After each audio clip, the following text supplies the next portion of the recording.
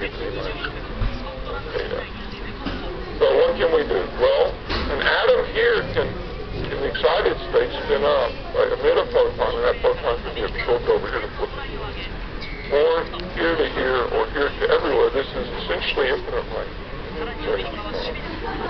The range is limited only by retardation. So there's a conserved Hamiltonian uh, shown here, and this this thing is just in this setting. It's just you know uh, very long range.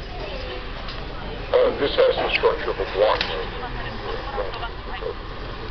There's also incoherent evolution, where instead of these two atoms doing a spin flip, coherently this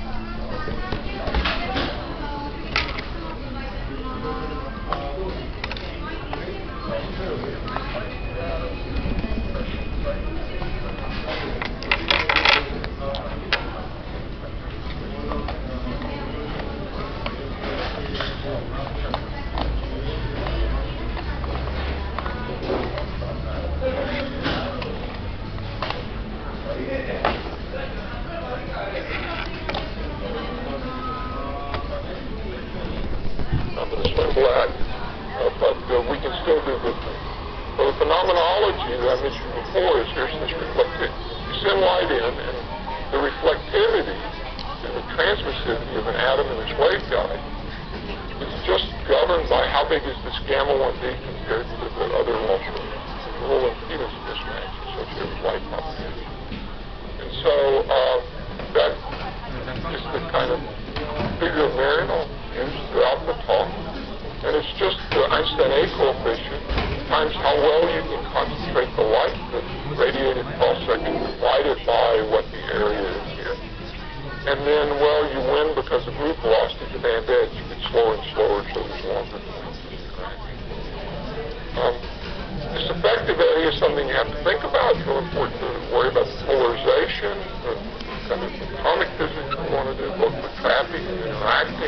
bem, olha, eu estava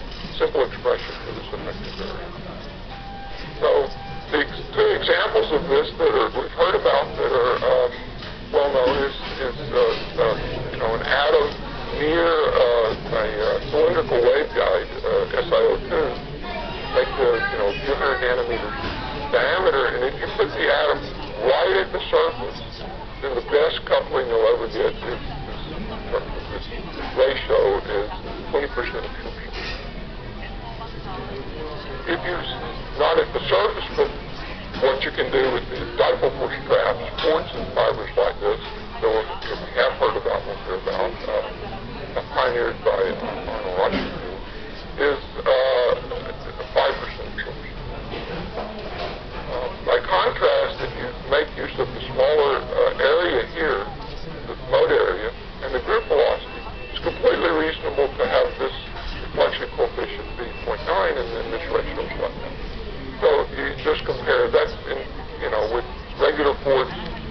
Centimeters from the surface or in a fourth year, which isn't so regular, but anyway, there's just the qualitative difference in the kind of company.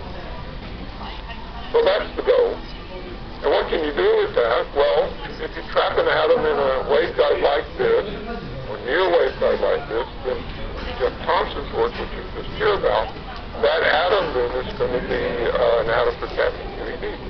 So we'll make a cavity the mirrors Jeff will tell you about, they're not uh, mirrors like this, but simple stories like that, so you get some volume, you some coupling, and then you could ask, for example, how big is this coupling coefficient? Twice that's the vacuum Rabi frequency. So you can get numbers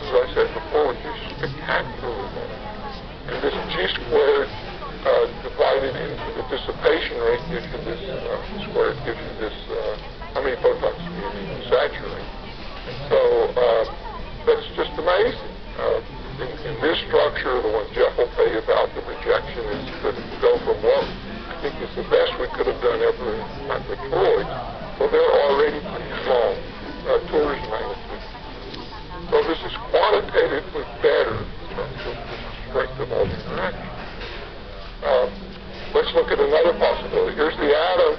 No one is having QED. I just explained to you that the, the atoms can be good reflectors. So instead of regular nanophotonic patterning, we'll end up with a mirror which is just an atom, and then we'll uh, we'll put an atom in the middle. So that's cavity 3D.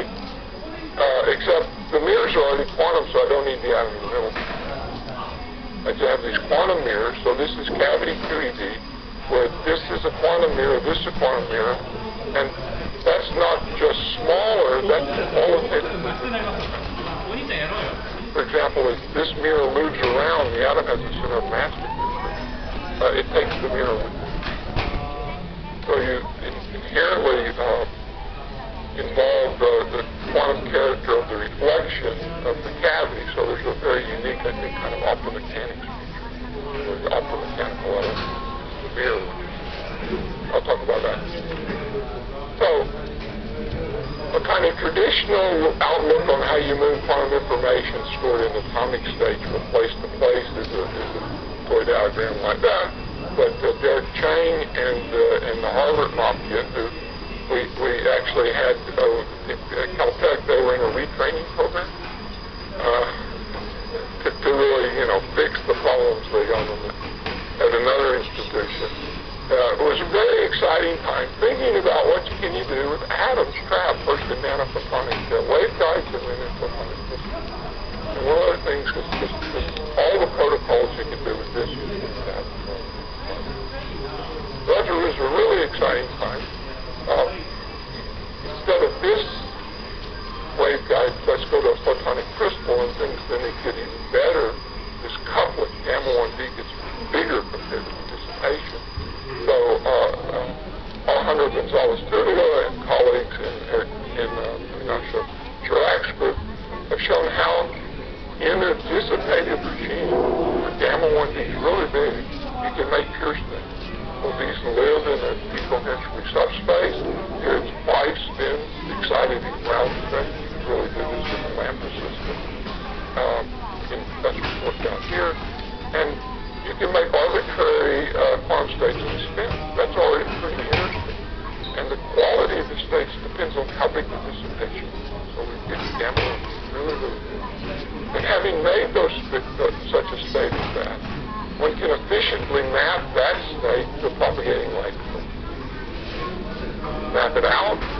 back, just like in this kind of circumstance. But I think we show we have a manuscript of post, which shows that you can do better than because the error, the, the infidelity of the process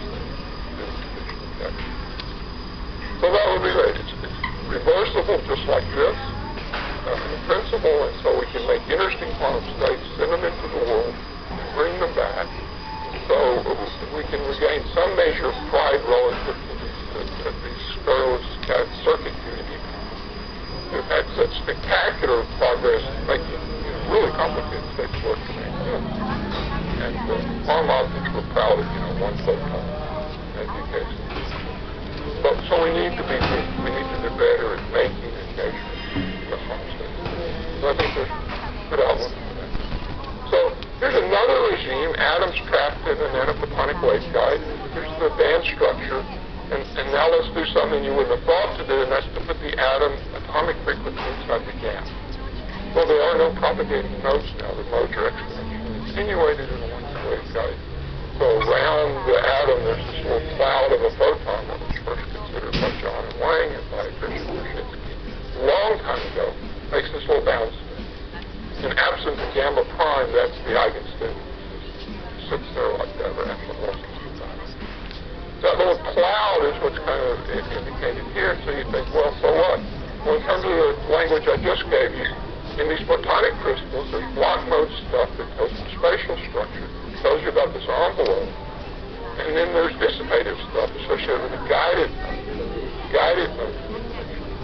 And inside the gap, this localization, the, the, the uh, imaginary part of the Green's function this is this attenuated. So this guy's gone.